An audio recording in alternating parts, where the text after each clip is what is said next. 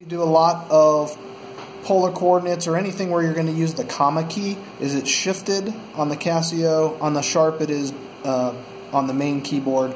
So let's say we want to do a conversion from pole or from rectangular to polar.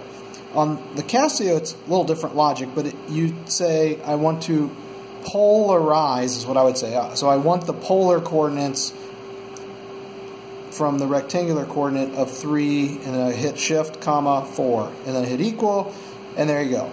The polar coordinates of 3, comma, 4 would be 5, radius of 5, and an angle of 53 degrees and some. On the sharp, you do 3, comma, 4, there's no shift or anything, and then it has this arrow pointing to an r theta, so shift, r theta, and it gives the answer.